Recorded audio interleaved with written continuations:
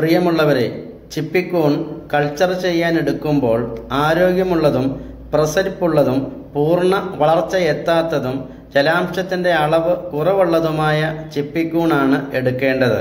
ഇത്തരം കൂൺ കൾച്ചർ ചെയ്യുന്നതിന് മുമ്പായി laminar airflow chamber room U V ലാമ്പിന്റെ സഹായത്താൽ പതിനഞ്ച് മുതൽ മുപ്പത് മിനിറ്റ് അണുനശീകരണം നടത്തിയതിനു ശേഷം യു വി ലാമ്പ് ഓഫാക്കി പതിനഞ്ച് മിനിറ്റ് കഴിഞ്ഞതിന് ശേഷം മാത്രമേ ഇനാഗുലേഷൻ റൂമിൽ കയറാൻ പാടുള്ളൂ. പൂർണമായും അണുനശീകരണം നടത്തിയ റൂമിൽ ലാമിനാർ എയർഫ്ലോ ചേംബറിൽ തീനാളത്തിന് മുന്നിൽ വെച്ച് കൾച്ചർ ചെയ്യുന്നതിനാവശ്യമായ സർജിക്കൽ ബ്ലേഡ് സ്റ്റാപ്ലെയർ നീഡിൽസ് മറ്റ് ഉപകരണങ്ങൾ സ്പിരിറ്റ് ലായനിയിൽ തുടച്ച് പൂർണമായും അണുനശീകരണം നടന്നു എന്ന് ഉറപ്പുവരുത്തേണ്ടതാണ്. സാധാരണ രീതിയിൽ വിത്തുൽപാദനത്തിനെടുക്കുന്ന ഉപകരണങ്ങൾ ആട്ടോക്ലേവിലോ കുക്കറിലോ മുപ്പത് മിനിറ്റ് അണുനശീകരണം നടത്തിയതിനു ശേഷം മാത്രമാണ് ഉപയോഗിക്കുന്നത്.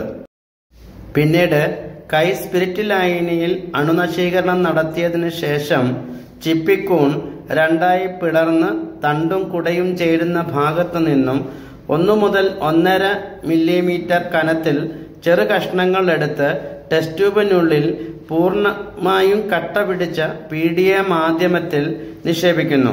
പിന്നീട് ഇരുപത്തിയഞ്ച് മുതൽ ഇരുപത്തിയെട്ട് ഡിഗ്രി അന്തരീക്ഷ ഊഷ്മാവുള്ള അണുനശീകരണം നടത്തിയ ഇരുട്ടുമുറിയിൽ സൂക്ഷിച്ചാൽ പതിനഞ്ച് മുതൽ പതിനെട്ട് ദിവസത്തിനുള്ളിൽ ടെസ്റ്റ് ട്യൂബിൽ ഫംഗസ് വളർന്ന് പൂർണ വളർച്ചയെത്തുന്നു.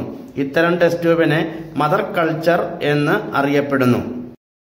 പൂർണ വളർച്ചയെത്തിയ മദർ കൾച്ചറിൽ നിന്നും ചെറു കഷ്ണങ്ങൾ എടുത്ത് അണുനശീകരണം നടത്തിയ നെല്ല് ഗോതമ്പ് ചോളം മറ്റു പയറുമണികളിൽ നിക്ഷേപിച്ച് അണുനശീകരണം നടത്തിയ റൂമിൽ ഇരുപത്തിയഞ്ച് മുതൽ ഇരുപത്തിയെട്ട് ഡിഗ്രി അന്തരീക്ഷ ഊഷ്മാവിൽ ഇരുട്ടുള്ള റൂമിൽ സൂക്ഷിച്ചാൽ പതിനഞ്ച് മുതൽ പതിനെട്ട് ദിവസത്തിനുള്ളിൽ പൂർണ വളർച്ചയെത്തുകയും ചെയ്യുന്നു.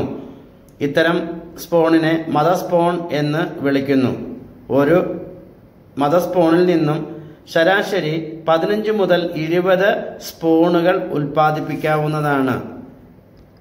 ശാസ്ത്രീയമായി കൂൺ കൃഷി ചെയ്യാൻ ആഗ്രഹിക്കുന്നവർക്ക് ചെങ്ങന്നൂർ കൂൺ കൃഷി പരിശീലന കേന്ദ്രം കൂൺ വിത്ത് ഉൽപാദനം കൂൺതട നിർമ്മാണം ഷെഡ് നിർമ്മാണം ഷെഡ് അണുനശീകരണം രോഗകീട നിയന്ത്രണം ഔഷധ ഗുണങ്ങൾ വിപണനം വിവിധ മേഖലയിലെ സാമ്പത്തിക സഹായങ്ങൾ എന്നിവയെക്കുറിച്ചുള്ള ശാസ്ത്രീയ പരിശീലനം നൽകുന്നു.